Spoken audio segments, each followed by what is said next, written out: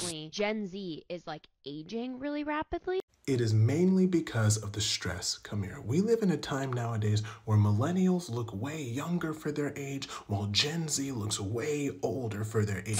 I've looked older than my actual age since eighth grade. I thought it was just genetics or something.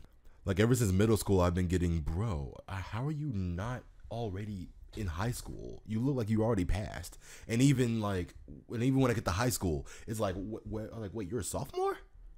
Ain't no way you're a sophomore, bro. You, you, I thought you was a senior, bro. I thought you was a senior. Did you fail a grade or something? Like, how is your voice so dang deep? How's your voice so dang deep? Wait, you're, wait, you're 50. Wait, you're only 15. You look 20. I'm 17 years old with 50% of my dad's beard. Again, I, I thought it was genetics, but I, I heard that stress can lead to aging quicker. The same thing for not having a proper sleep schedule, which I'm still trying to fix. I've literally seen people younger than me that look way older than me before. Back in my freshman year, 15 years old, I used to talk with this one guy whose beard was bigger than my subscriber count. Like he he, he literally looked like he was actually some undercover FBI agent or something acting as a student.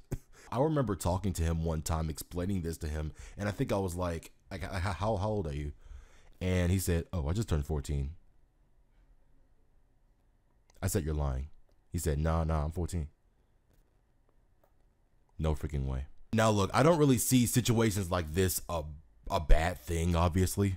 Um, especially if there's a way to like prevent this from happening so much. But it's just so interesting to me.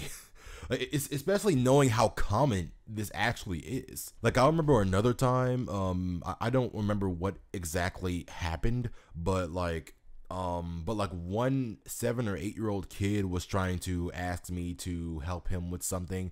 And um i remember him saying something like um sir c- can you can you help me? or something like that. First off just the fact that he said sir to me just felt so dang weird for some odd reason.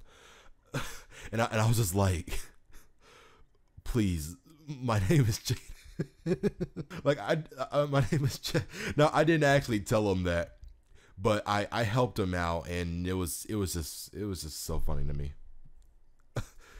um and anyway yeah I, I just i just wanted to talk about this it's a very interesting topic to me so yeah so that that, that that's it that's it